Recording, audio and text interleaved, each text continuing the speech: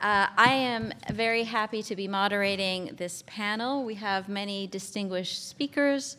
Um, I'll do a very quick introduction of the three of them, let them um, speak a little bit to uh, the reason why we're here and what we should be thinking about, and we'll then uh, ask, you know, blurt in and ask re re hopefully relevant questions. Um, to immediately to my left is Gordon Borrell. He is the CEO of Borrell Associates, which is primarily a, media consulting firm. Uh, his work has been quoted frequently in Wall Street Journal, New York Times, Ad Age, and Forbes. He's appeared on CNN and various TV networks. He originally started as a reporter and editor for the Virginia Pilot in Virginia. Um, and in that time period, he then worked on conceptualizing and creating Infinet, which is an internet access and hosting company that later split up and sold to Earthlink and to Gannett. Um, he then also worked as a vice president for the new, uh, the new media for Landmark Communications. Uh, he is currently an executive board member of the local media association and is past president of the newspaper Associ association of america's new media federation Francella Occhio? Ocello uh, is vice president uh, of the National uh, Policy and General Counsel of the National Hispanic Media Coalition. Um, she uh, has a BS in marketing from Morgan State University and a JD from John Marshall Law School in Chicago. Uh, she works primarily uh, to help um, the discussion in regulatory circles to discuss anything that relates to digital divides, um, diversity and minority presences, um, viewpoint diversity.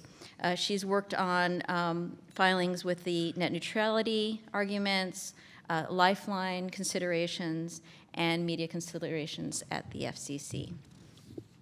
Jeffrey Warshaw is the founder and CEO of Connoisseur, or you want to say, how do you say Connoisseur. It? Connoisseur Media you should let me take over marketing. All right. All right. Uh, he, uh, he's been a lifelong broadcaster. He started his first station uh, while he was still a, school, a student at um, the Wharton School of Business.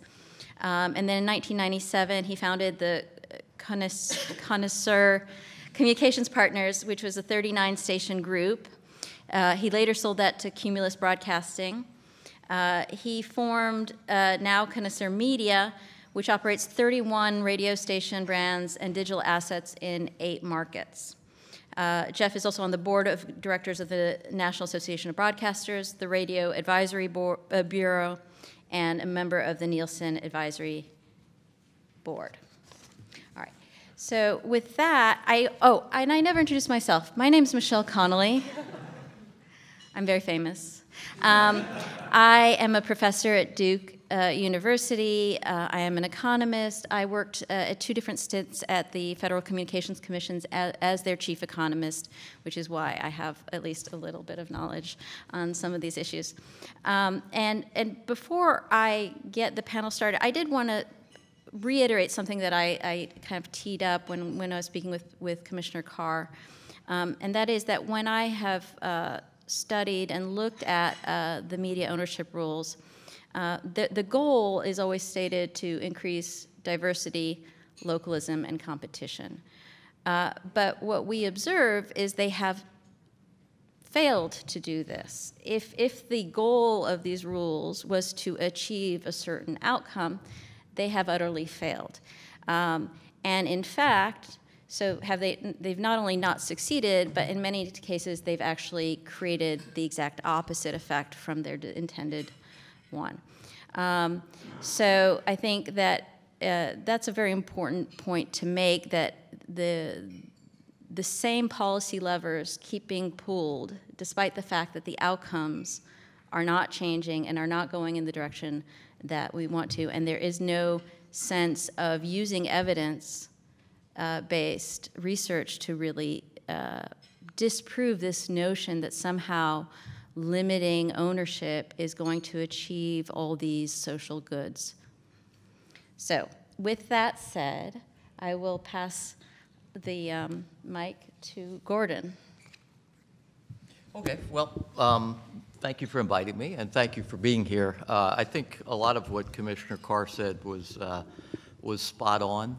My job is to track lifeblood, I think you used that word, of local media, which is advertising. We tend to focus on audiences and content and news, and that's really important, but 60% to 70% of revenues for newspapers and for television stations comes from advertising. So these advertisers fund these media entities. For radio, it's 70 to 90%, most cases 90% of their revenues, their operating revenues for programming, for sales reps, for di disc jockeys, et cetera, comes from advertisers. So what I tell these local media companies, and they are in much more crisis than I think anybody in this room really realizes. We see it every day. Some of them are dying. Half of the newspapers in this country don't make money. They lose money. There have been about 40% of the weekly newspapers in this country uh, that have died. These are county newspapers, basically. We're down to about 6,000 of them. We used to have about 10.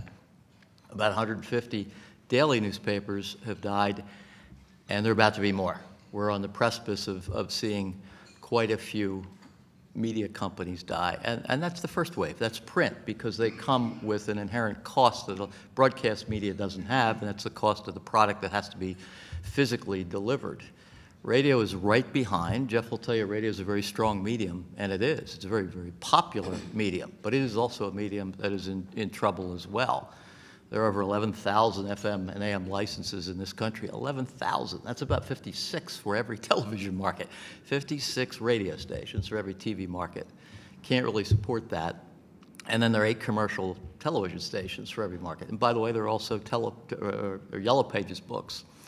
So uh, I guess when I look at this whole universe of advertising, which is where I live in that local advertising part, the job of these businesses are to help these media companies is to help local businesses, local entrepreneurs sell things. And they're under this great duress from companies like Google or Facebook or now Amazon. And it's come in three waves, and I'll just end, end with this. We've seen the share of local advertising for local media companies go from 100% traditional media companies down to 47% 47% is the share of local advertising that they're getting. The rest goes to Google, Facebook, and a myriad of other out of market, we call them pure play companies. It's getting harder and harder for these local media entities to help marketers in their local communities sell stuff, to provide a voice for them, to provide copy, to provide something that works for them. And that's put these media companies in a lot of trouble. First wave was Google. That brought the share of local media uh, advertising, local media's ownership of, of advertising down to about 70%. The second wave was Facebook. They were up to about $38 billion last year in U.S. advertising. And that brought the share down to about 50%. The third wave has just hit us, and it's Amazon. They did about $3 billion last year in advertising. Not very many people noticed. And forecasters on Wall Street are now saying Amazon will be up to about $38 billion within two and a half years. And that's the third wave, and it's going to hit local media companies pretty, pretty hard. So I'm glad we're having this discussion. I agree with a lot of your comments. And the young man who got up and said, why do we need to regulate media at all anymore? It makes no sense. And you've said it doesn't seem to be helping media. So that's my piece. Francella, do you want to tell us your viewpoint on this and how you see the history of this, this these developments? Sure. So my name is Francella, and um, I am. This is my first time getting to um, talk about this at the press club, and I'm really excited about just getting to uh, be the minority voice. Uh, the truth is that um, a lot of people aren't going to agree necessarily with my positions, but I want to start by bringing up, um, following up on a question that came up, and also giving a little bit of the background on why uh, these rules are essential. Um, one of the questions that was asked in the Q&A was why the government's regulating uh, this market at all. And I think that it's important to start by thinking about a statistic um, that was just mentioned. So of the 11,000 radio stations that are in the country, how many of them are owned by women or minority owners? And I think that even by generous estimates, if we're at less than 20%, we have to ask very serious questions about why. And the truth is that the FCC, for decades, systematically excluded women and minorities from being able to get licenses. The FCC intentionally injected itself into that process. So the thing is, you can't let the agency that has actually been complicit in excluding people from getting licenses for decades, when years now in 2019, it doesn't reflect the population, when we don't say, what are we doing about this? And why that doesn't give us pause. Now, there are a couple of things that I totally agree with. I think that the market is changing rapidly. I think that it's important to make sure that radio broadcasters are able to uh, have revenue and to be able to be robust entities in their communities because the truth is, if they can't afford to stay open, if they do have a Dell laptop running their, their entity, then we have a real problem. But the truth is, why is a laptop running that station? What have we done to empower people who maybe don't look like most owners? What have we done to empower them with giving them the capital or the experience or just the levers of power that they need to actually run uh, those stations? And so I think that it's important, you know, one of the things that Michelle brought up, I, I agree that you know, when we think about the bedrock principles that are included in any policymaking on, you know, the market, we're always thinking about does it improve competition? Does it improve, you know, the diversity of voices? Are we bringing in new viewpoints? These are these are bedrock principles that we can't really set aside or water down. But at the time that we do the quadrennial review, it's not just a time to say, do we need to get rid of rules? I think that it's a time for us to evaluate do the current rules serve the public interest? So that might be an opportunity to say, yeah, maybe we need to think about redefining what's qualified as a radio broadcaster. Maybe we need to think about how do we support small and mid-sized stations being able to get a little bit more, to be more competitive in their advertising revenue. I totally agree with that. But what concerns me is that we can't um, make believe that uh, traditional radio stations or even TV stations for that matter are equivalent to or substitutes for online providers. Because the truth is that when you're using the public airwaves, the exchange for that was that there's a public interest requirement and that you actually have an obligation to serve the community in which you're licensed. So I think that some of this isn't necessarily about necessarily about deregulating. I think some of it is if we aren't achieving the goals that we've set out in terms of improving the diversity of voices, improving localism, supporting competition, then what do we need to do to address those in particular problems? And thinking about ways that when we're deregulating asking really hard questions about who will that benefit. Because what does concern me as an advocate is i don't have a knee-jerk reaction against all consolidation is bad. That's not what i have a knee-jerk reaction against. What concerns me is that i know that cross ownership amplifies power. And if you are part of that bottom rung and you have no leverage when you consolidate or at least enter into an agreement with another company, you do not go in there on equal footing. It is not the same. And so the truth is that those smaller, maybe minority and women owned businesses are essentially subsumed rather than partners in those contracts. And so, what are we doing to support those voices? So, I think through this conversation, I'm glad to have it. I'm glad to be healthy opposition, but I want us to all really think carefully about is it that we're just asking to eliminate certain rules, or is it that we should be saying, we're not meeting our goals here, so yes, we should change these rules, but that needs to be accompanied by other changes? So, if you don't mind, I'll ask a follow up sure. question. So, in line with that, what do you think of the FCC incubator program? Do you think it has a, a, a good chance of succeeding or not? And if you know, depending on that, do you see what alternatives do you see to try and promote these goals? I'll say this about the incubator program because I actually just got off the phone with NAB um, yesterday. I have a great relationship with them. I talk to them all the time, even though we agree on nothing on filings, um, all the time. and so um, I appreciate a good faith effort. I appreciate good ideas.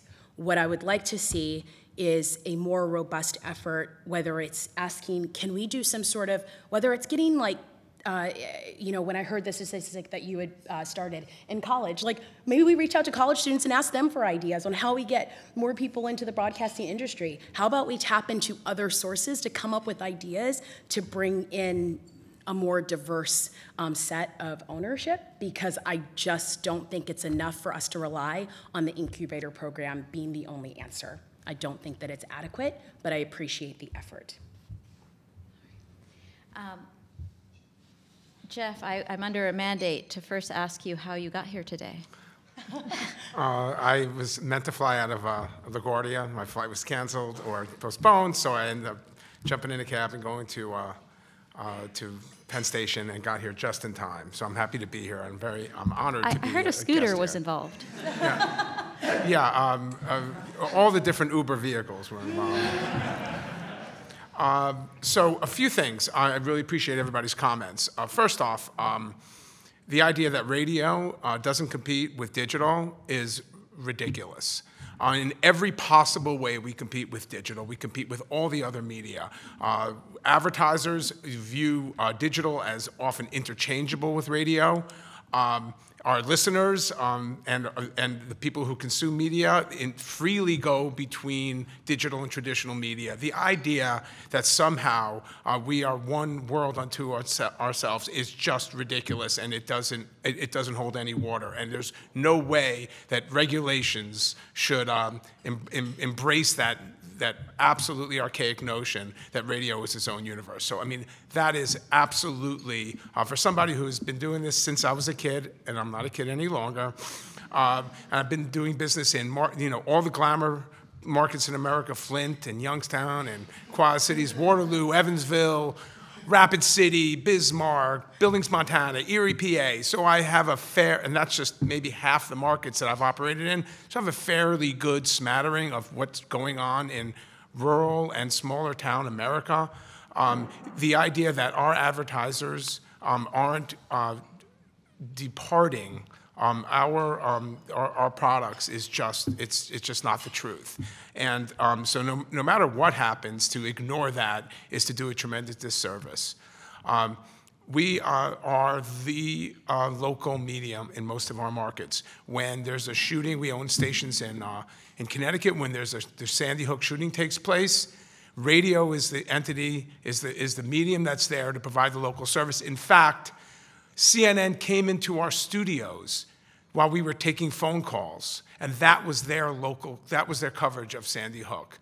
And when politicians need to be heard, radio provides that opportunity. And when there's local news, radio provides that opportunity. And there would be a tremendous loss if, if local radio disappeared. And we are just not competing on a level playing field. We're not looking for any help. We're not looking for you know special kudos for doing a great job, which we do as an industry.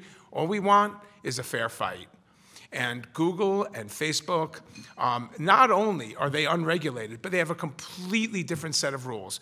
Uh, Spotify, um, th- these are companies that don't have to make money. Apple sells devices. That's what they have Apple Music for. Google is selling your data.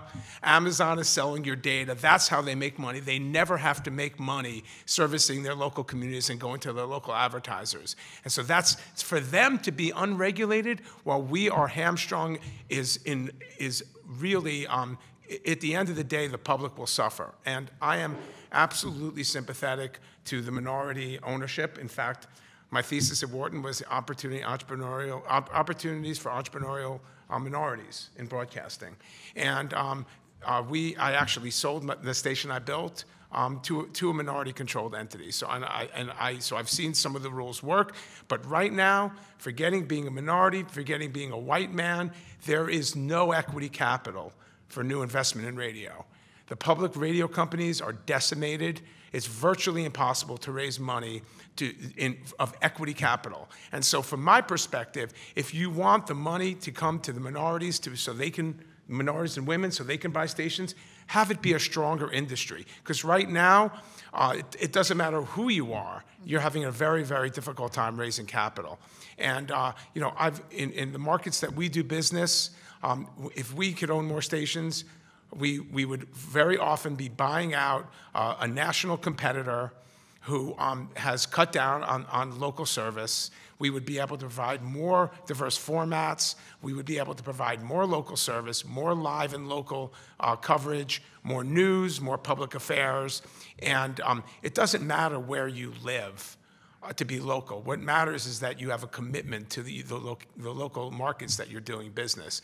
So I'm not sure, you know, it's, it's hard, more work to run local operations. It's more work to retain and train new salespeople. It's getting harder and harder as we compete with digital media. But the idea that, uh, that in, somehow this is a gift to local broadcasters, this is what radio needs to remain local and to be able to provide uh, a service in our communities. We need to be given a level playing field. I wouldn't say it's a gift, it's uh, removing the foot from your jugular. but I have no opinion. All right. um, how much do you think you're hampered, Jeff, by this, the fact that radio started out as a, a broadcasting entity and is, I assume, still primarily a broadcasting entity, um, but you are making inroads into digital as well. Well, well, first off, we, we, we stream all of our radio stations, but, you know, the fact is that every uh, listener that we have that leaves our terrestrial listening to go to digital costs us money. Because of the rules, we, we, we cannot make money on streaming. That's the music, li- because of the fees that we pay SoundExchange. So it's not a, and, and the same thing goes for Alexa. If you want to have Alexa so they know every single conversation you've ever had, it's your choice. Um, you, you, and you, you stream our radio stations. We don't make money from that. It's wonderful that we have listeners and we're able to, you know, it can be the new clock radio in everybody's home. But the fact is that nothing, nothing replaces um, the terrestrial signal. And like on my way to the airport, I stuck my phone in and I got, you know, Apple CarPlay, and I could not find a radio dial. And to, for the idea that radio isn't competing with that, it's, it's, it, it defies any logic. Gordon, maybe um, I could ask you a little bit more about uh, do advertise, you know, the, the market for advertising, and do advertise see digital advertising as being different from advertising over broadcast? It's interesting, we run the, the, the largest survey of local advertisers in the country. It's currently running, and I asked them this, this year to put in a question about John Wanamaker's lament. If you recall, that was John Wanamaker, a retailer 100 years ago, said half of my advertising works, half of it doesn't. Trouble is, I don't know which half is which. So I asked, let's put that in, and let's ask local advertisers how they feel. It used to be they agreed with it 100%, they just couldn't figure it out. Now 40% don't agree with it, and it's growing. We tested it a couple of times since we launched the survey. So what's happening with local advertisers is now their perception is that they have more data that comes with this digital media. In the past, they would get reports from radio stations or from television stations or from newspapers that said, look how big our readership is, look how big our audience is, you know, these are the people you're reaching. And they didn't quite believe it. They just didn't know whether it really worked. They knew some of it worked and some of it didn't. Now they have data in the form of clicks, um, in the form of likes, page views, et cetera, et cetera. And the reality is, half of that advertising works and half of it doesn't. A lot of those chick clicks come from, you know, robots or from China, from other countries. So i i- their perception is now that they have data that it works. I will say this, and this is just startling when you get down to it, these advertisers, these local advertisers are pretty smart. We asked them, this is a year ago, you said you bought newspaper advertising, rated on a scale of one to five, with five being the best. You said you bought radio advertising, rated on a scale. You said you bought search advertising, Facebook advertising, et cetera. So we took all the traditional forms of media, radio, TV, newspapers, broadcast and print, cable, outdoor, et cetera, averaged it out, so we got an effectiveness rating, for traditional. And we took all the digital forms, search advertising, social media, email advertising, banner ads, et cetera, and we averaged it out. They were exactly the same. They felt that they're both. So what we've found is that recently, advertisers, and this is in the past six, six months, and it's changed pretty quickly, advertisers are now buying a package. So they will buy radio advertising with digital, because most of radio sellers now are also selling some forms of digital advertising in the form of banner ads, or maybe they even will do some search engine marketing for the advertiser. Maybe they'll help them with their website.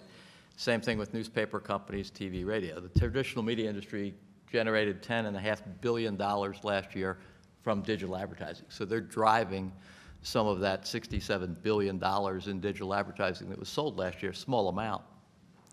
But in the end, what the advertiser sees again is they're on par. They're just getting uh, traditional media with digital media. I'm going to say something that's going to make Jeff really happy in a moment.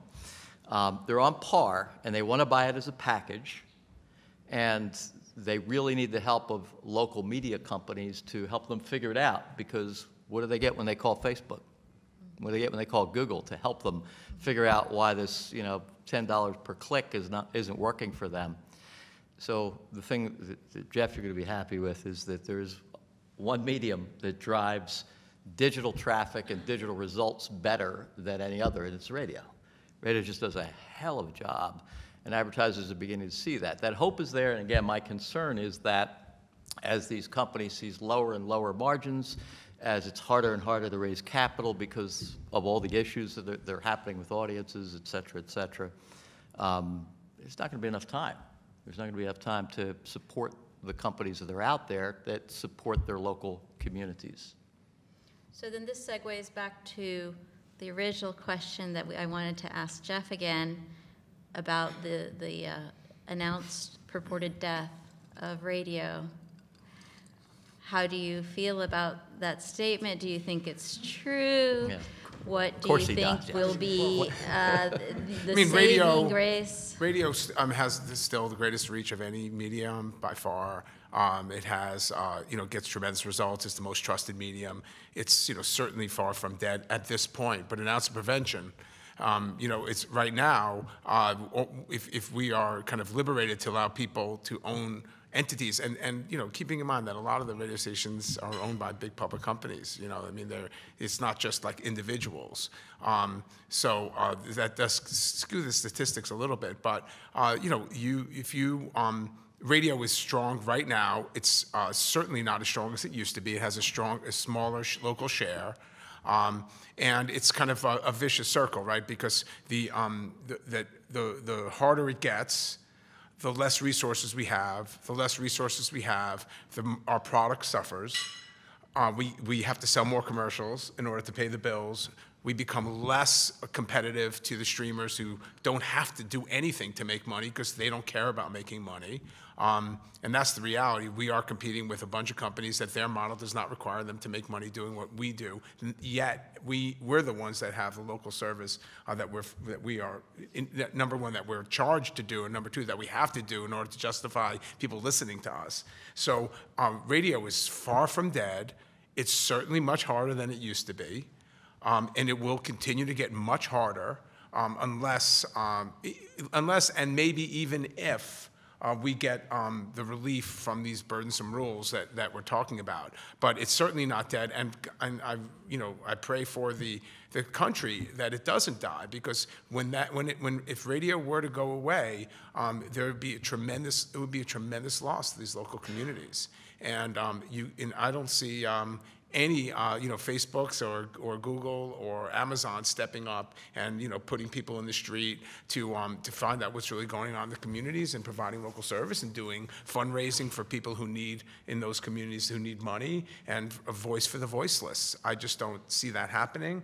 And it's, um, and, and so it would be a tremendous loss. Um, and, uh, you know, again, we're not, I don't think the industry is asking for a handout. And I, just as a, uh, point of information, I'm on the ownership committee of the National Association of Broadcasters, which was referenced, and uh, we had there was minority and female representation on that on the uh, that committee, and um, it was and who supported the the NAB proposal. So um, I actually don't, you know, I think the NAB proposal didn't go far enough. Uh, I think that the idea that should be, that, that radio should have any ownership rules is is archaic, but um, you know, again, it's not necessarily politically feasible to have all the rules go away. Are there some questions?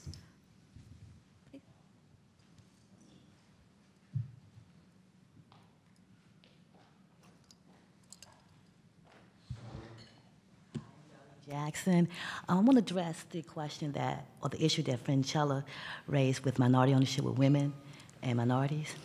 uh, under the Reagan administration, FCC instituted a grandfather clause, a regulation whereby a major network like NBC could not own a radio station and a TV station in the same market. So, NBC here in Washington was, was forced to sell its radio station, WKYS. And when they did, um, a minority ownership came forward. And that regulation opened up the doors for minority ownership in the 1980s. Uh, Cathy Hughes, she was the owner of WOL here, AM Band, and she proposed to buy WKOS. Well, she didn't get a chance to do that at that time. Um, it was a, a, conglomerate of lawyers and, and actors. They all came in to buy it. About four years later, KOS was, KOS was sold, and she bought it. Cathy Hughes bought it. 1980s. Today, and she's a female, today she owns 40, 54 radio stations and 16 markets. And she owns six stations here in DC, which is a major market. I believe it's number eight. I'm not sure. Um, but somewhere around the top 10. And she also owns four Baltimore stations, which is the 20, 20th market. So minority ownership has zoomed under the Reagan administration's regulations on the grandfather clause. I can't say, and, and, and, and if you ask me, and you said 20% minorities own those 11,000 stations, if you ask me, the blockage is not on the FCC, it's on the black elite who owns the minority ownership. They're blocking it. Go look.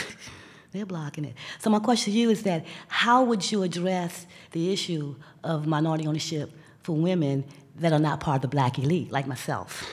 If I want to own a radio station, how do we get to, to do that if we are blocked from the top black elite? I think that, just to be clear, mm-hmm. I think that that's fantastic that there are any minority owners that have any sort of chain ownership. And I know that even in the 1980s, that was something that was probably the first time that you started to see that. I'm glad. I think that's wonderful. I think what I'm doing is I'm speaking for people who might be new entrants who just don't have the capital or the levers of power to get into the market. So the thing is, I'm not saying that the FCC is the only one who's responsible. I think that there are always going to be in any industry, there might be people who are blocking it from the top. So I think that there are market forces. Mm-hmm. I think that there's the FCC. I think that the truth is that we need to all be working together. And what I was saying about when we're thinking about deregulating, the public interest standard is not just an economic analysis. And I just think that we need to be aware of the fact that there are advertising dollars, I get it. Everybody's thinking about what do we do to make these stations more robust, but there are other calculations that go into that. And I think that it's important to support um, the local initiatives. I think that that's great that that worked out in Washington, D.C., but there are lots of cities where that's not the same story.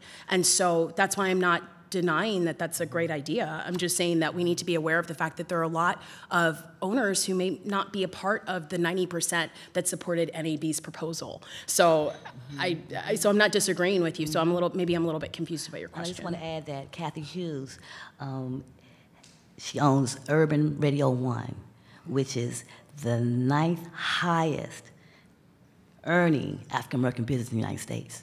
Okay. So it's there. Oh, I'm but not, you see, and just to be clear, because mm-hmm. I feel like something that I've said has been mischaracterized, mm-hmm. that there are no minority owners. I said that by generous calculations, of the 11,000 radio stations in the country, less than 20% are women and minorities. And that is a number that should give us pause, considering that almost 50% of the population in the United States are made up of people of color. And so I was asking, mm-hmm. what is the FCC doing to actually support initiatives that increase the number of people of color in the industry? But Cathy Hughes has locked up the, the, the markets um, the black population in, in, those markets. So blacks are not nationwide. They're, they're, they're, they're, they're, they're, they're, they're, they're a conglomerate in certain parts of the country. And so where they are, that's where she is. Okay, and that's great. I would love to talk to Cathy Hughes, and Cathy Hughes would hear the same thing from me. So I come from a place in Louisiana where if I went to go and start my own radio station, there would have been very serious blockades where I lived in Louisiana. So I'm just giving you my experience, mm-hmm. but I think that's wonderful that Cathy Hughes that that worked out. Thank you. Thank I'd you. like to go on the record again. I've done it in the trades before. If any minority or any woman is looking to buy a radio station and they'd like any free advice, I'm more than happy to help. That's great. I like to hear that. That's great. I appreciate that. Uh, Hi. Uh, when I was a little boy, hard for me to remember back that far. But I was a newspaper boy for the Washington Evening Star, which no longer exists. And I had 125 houses on my route, which was every single house in the neighborhood. Everybody got a paper. I lived 10 blocks away from where I grew up as a little boy. I walk out the house every morning and I pick up my three newspapers. Nobody else on my block gets a newspaper. So I'm sorry. Newspapers, I think, are dead. They are antiques. With total respect, uh, I think radio is in its decline and is going to die. And you said, how are they going to compete against us? I don't know the answer to that, but some of the things that occur to me are robots and drones and so on. They're going to be there, and they're going to be there cheaper and as good as radio is today. So, and I don't like government regulation, and I heard someone talk about government subsidization, and I don't want government subsidization. I don't think it works. So newspapers dead, radio dying, gonna die, Zuckerberger and company on the rise. So the question to me is how do we prevent fascism? How do we prevent the consolidation amongst the Facebooks and the uh, other social media outlets and being the voice that tells us how to think, what's right, what's proper, and what's improper.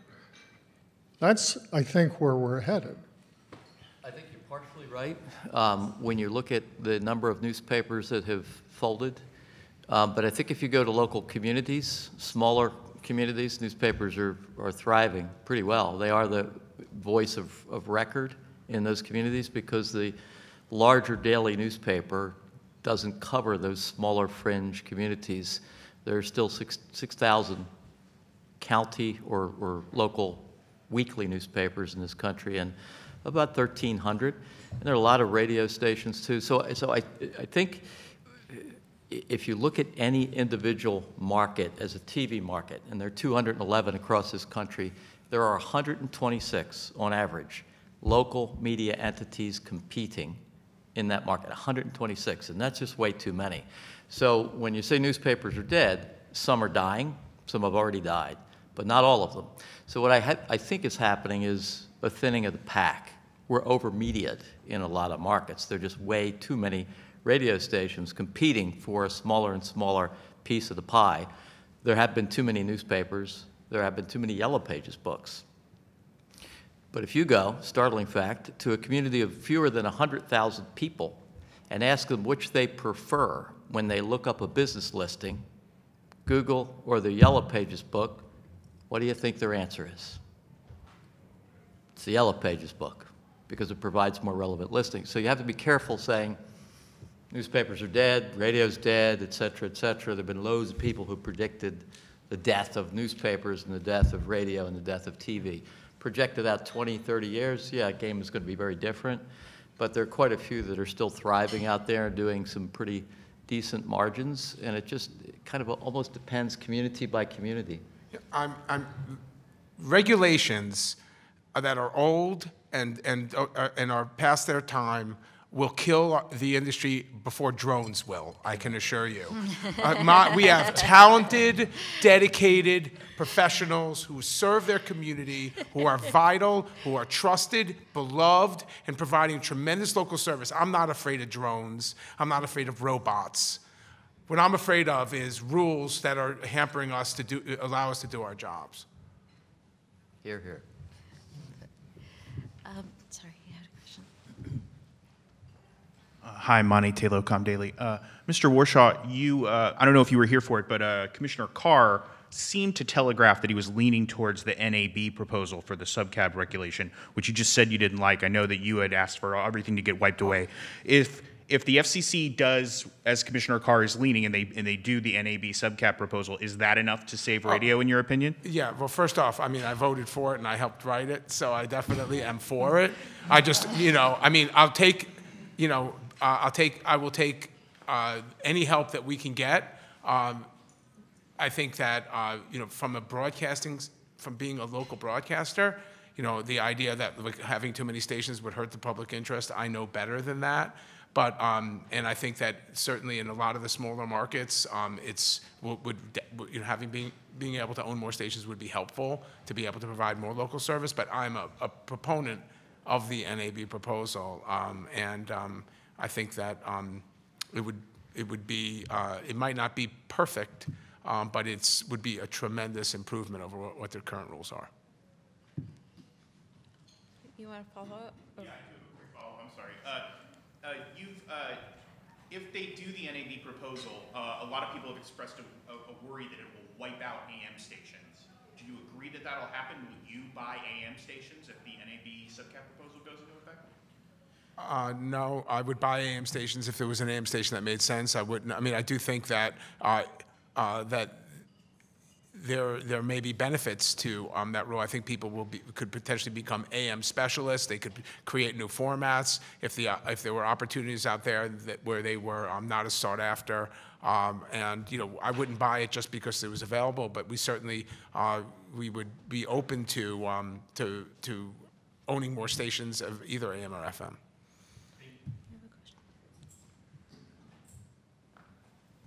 I have a question about what m- may be another sort of like thread in the noose of this situation, which is Section 230 of the Communications Decency Act, um, which basically exempts internet service providers from liability for things like defamation. And um, it basically means you can't hold platforms responsible for that type of thing and you can't threaten them with legal liability whereas all the legal liability will still remain with radio with local television news and with the newspapers. And I've heard this from the newspaper group when there's a series of stuff going on in Congress with the antitrust trying to get news media to be able to organize for a series of years. And one of their big issues is that this liability situation needs to change. And I'm wondering if your industry feels the same.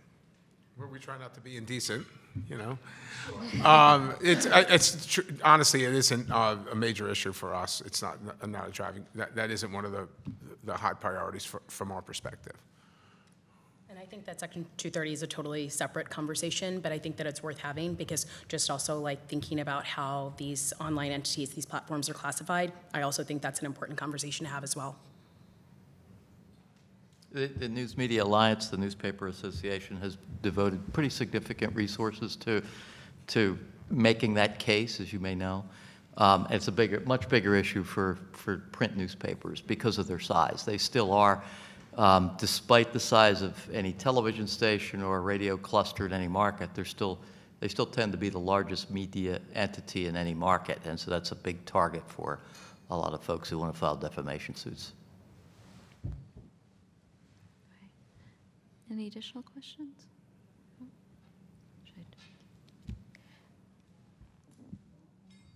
Um, One thing we haven't focused a great deal on is, do you, for all three of you, the recommendations that you've had or put forward, do you see them as being equally relevant in larger markets and smaller markets? Or do you, in your mind, do you really see a distinction between the larger markets and the smaller markets? Well, I'll, I'll just jump in and just say that, that smaller markets are much different than, than larger markets. There tends to be uh, an easier go of it for, for smaller uh, companies because there's less competition. So I'll be in Philadelphia tomorrow, tomorrow to work with a number of different companies, print, broadcast, et cetera, and there are just loads of them. And they're all looking at each other in addition to digital media. If you go to a smaller local market, it's more relaxed, not, not that it's a heck of a lot easier to pry dollars from advertisers' hands because they're still enamored of Facebook and Google and things like that. Um, but it does seem to be, Jeff, I don't know how, how you feel about it, but in markets like Erie or other markets that aren't Philadelphia, New York, or Washington, um, particularly radio, seems to have a, a, a better go of it in those markets because of their control, or not control, but their voice of the community. I don't know how you feel about it either. I, I, I- I mean, I don't, I, I think that it's a market by market basis. I think generally you have, um, in the smaller markets, you have more guys like me that own stations and operate them rather than big public companies. And, you know, uh, despite the fact that uh, s- values of FM stations and AM stations have declined dramatically, still the idea that like a person is going to own a station in Philadelphia, it's pretty unusual. There was one and he sold it. Um, so those th- those those big companies um, have a different, um, very often a, a very different strategy. Uh, they um, they are um, uh, they have. Much a much larger platform and footprint. They have the um, national resources, national programming, uh, networks. Um, in some cases, a big app, um, uh, na- nationwide concert uh, networks. Um, so they have a kind of a different economy. I mean, I. I I think uh, in some ways the smaller markets have better economics. In certain ways, they're much worse. You know, the uh, a market like New York might be um, se- 60 or 70 times the size of an Erie, but you know the people in the markets make twice as much money, not 60 times as much money. So um, it's you know the the small fluctuations and um, declines have a, an immediate and profound impact on those those markets' ability to make money and provide local service. I- Let me just, one thing I was thinking about, Gordon, when you said that the smaller communities are facing less competition, I was thinking about, I mean, I would think they're in many ways equally um, at risk of losing to digital, but what might be different is the preference of the local community. That if people are choosing to live in certain areas, they may be more tied to that and more interested in local issues than uh, in more urban areas where people maybe are moving around more or see themselves um, less part of a small community and, and might be less interested in the local, very local issues. Um, and that may be why they're seeing kind of a, a, a relative difference in terms of the impact of digital, which, as long as there's interve- in- internet provision, should be fairly ubiquitous within the markets. It's true, if you take a, a, a community like Jackson Hole, for instance, or any, you know, other smaller community that's on the fringe of a television market, their television station will not come to their community and do a story about their son, you know, favorite son being, becoming an Eagle Scout, for instance. But the local newspaper will do it, or the local radio station might have them on. So in that sense, there's a stronger affinity for and, and belief that the local paper, the local radio station, local media entity of any sort, it might be a weekly paper, is more representative of, of them. They feel closer to it. As I tell people, if you go to my brother's bar in Philadelphia and sit down on the stool and say, that Philadelphia Inquirer, what a liberal rag that is, the guy next to you will buy you a beer.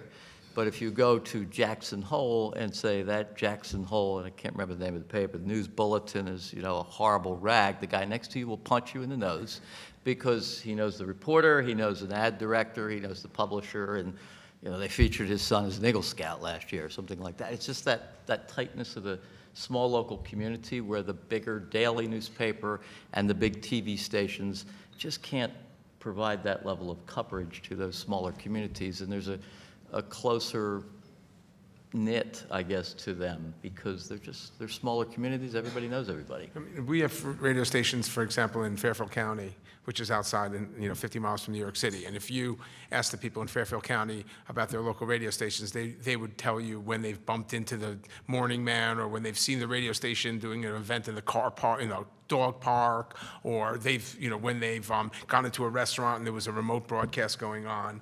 Uh, that's much more commonplace than in New York um, even though they're very close geographically. It, it, in many ways, local radio has a different uh, meaning to uh, to people in a in a town of you know 100,000, 200,000 than it does to you know 10 And- million. And probably also a very different meaning to people who are 40 plus versus 15.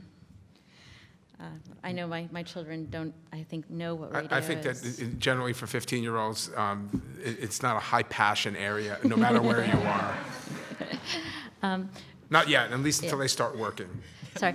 Francella, you were about to say something and I stopped. Uh, the only thing I was going to say, the way that I think about it is um, I work a lot on digital access issues. And so I think a lot when I'm in Louisiana, if I'm in a place that I don't have internet access, I'm more likely to actually put on the radio or put it on my car or when I'm at home, as opposed to a t- a- if I'm in a place like DC where I can get a signal anywhere. So that's what would be the difference for me.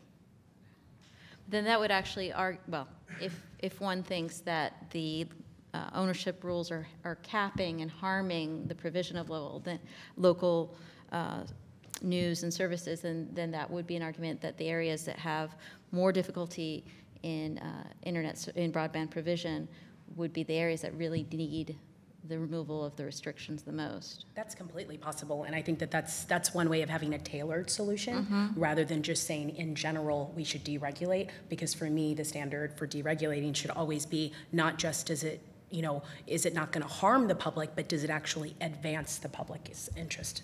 All right. One last question? It was um, kind of linked to my thoughts about um, how traditional media and digital media sort of, uh, for lack of a better word, more or less converging as far as dollars spent. And as, as it relates to your comment, how I mean, how can you close the gap when there are certain areas that don't really have the infrastructure that would allow local media to have a playing field to begin with? And how is that? How does that play into broader stra- strategies or policies that are related to investment in certain communities? Because you mentioned, as, as is true, certain areas don't even have coverage. So, I mean, even if, let's say, traditional media is also um, become more competitive at, at, on a regional basis by having um, a digital, a strong digital component of original content or whatnot, um, it still sort of wouldn't reach everyone who it needs to reach. I agree with you there. And one thing that uh, um, goes back to one of my earlier comments that we need to come up with a better uh, supply of ideas because the truth is that we're not going to come up with all of them here in Washington, D.C. Um, I come from a place where when you go home, when I go home, people ask me how I'm doing and then they actually wait to hear the answer. And it's a totally different dynamic than here in Washington, D.C., where people, it's very transactional. And when you go home, people are waiting, they're listening, they're interacting. I think it's just a totally different place. And I think that we need to be able to get ideas from places like that that really are interacting with their local radio staff or interacting with their TV broadcasters. I think it's totally different than the solutions we'd come up with here, with here in DC. However, I don't think we need a patchwork of solutions across the country, but I do think we need to have some sort of carve outs for markets that are just different. Well, thank the panel. I want to thank the panel and the Federalist Society again uh, for this very interesting discussion of an issue that I would hope would just go away in a good way.